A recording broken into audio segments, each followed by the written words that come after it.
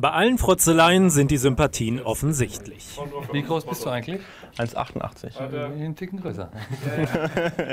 Denn Tennisidol Boris Becker und Pokerweltmeister Pius Heinz sind mittlerweile nicht nur am Pokertisch Kollegen. Heinz, der im vergangenen Jahr in Las Vegas 6,3 Millionen Euro gewann, profitiert von der großen Erfahrung des Wimbledon-Siegers. Ich denke, unsere, ähm, unsere Story, sage ich mal, ist, ist sehr, sehr gut vergleichbar. Also beide in jungen Jahren in, in ihren Bereichen sehr erfolgreich, sehr, dadurch sehr bekannt, dadurch quasi über Nacht äh, mehr oder weniger berühmt, bekannt, wie man auch immer es nennen will. Ähm, und da habe ich natürlich, bin ich unglaublich äh, dankbar, dass äh, Boris mir da mal mit Rat und Tat zur Seite steht, wenn ich Fragen habe und die habe ich nicht selten, äh, weil er es halt alles schon gemacht hat. Er hat äh, er hat alles schon erlebt, er hat viele Sachen richtig gemacht, er hat einige Sachen falsch gemacht, wie, wie auch immer. Äh, es, er hat immer einen guten Rat und äh, das ist für mich unheimlich viel wert.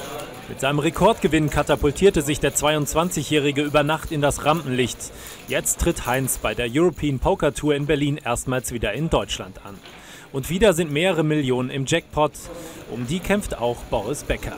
Als 17-Jähriger hatte er 1985 den ersten seiner drei Wimbledon-Titel gewonnen und lernte selbst die Vor- und Nachteile schneller Popularität kennen. Erfahrung, die er jetzt weitergeben kann ist ein intelligenter junger Mann, der versteht einfach, dass das Teil ist äh, des Geschäftes. Das Teil ist, ist, ist, als Weltmeister eine besondere Rolle einzunehmen. Und äh, so, das ist einfach, das eine geht nicht ohne das andere. Du kannst nicht einer der besten Pokerspieler der Welt sein und hoffen, dass sich keiner kennt. Also, es geht nicht. Fototermine, Interviews, wenig Freizeit. Während für Becker die negativen Seiten längst Alltag sind, musste Heinz sich erst einmal daran gewöhnen, im Fokus zu stehen. Doch was hat sich der ehemalige Student eigentlich von seinem Preisgeld geleistet?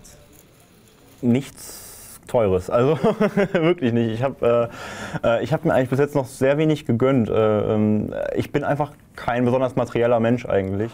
Häuser, Autos, Yachten oder sonst irgendwas, äh, nee, kann ich nicht mit dienen.